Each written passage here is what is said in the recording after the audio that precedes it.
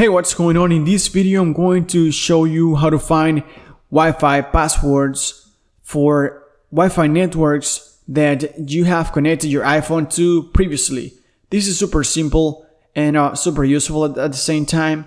So if you want to learn how to do it, then keep watching. To begin the process, you're going to look for settings.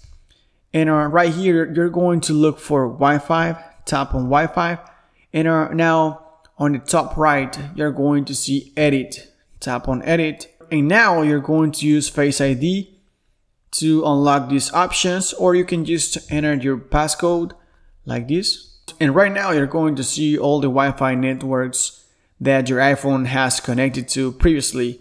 And uh, right there, hopefully you're going to see the Wi-Fi network that you want to find a password for.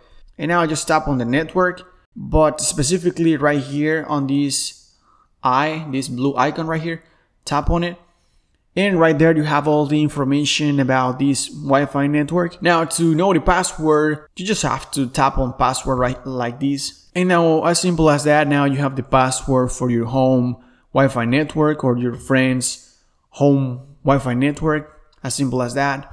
And you can go ahead and connect your new device to this Wi-Fi network. I hope this video helps you. If so, please help me out by subscribing to this channel. It really means a lot to me. You oh, know, thanks much for watching. Bye bye now. You stay safe.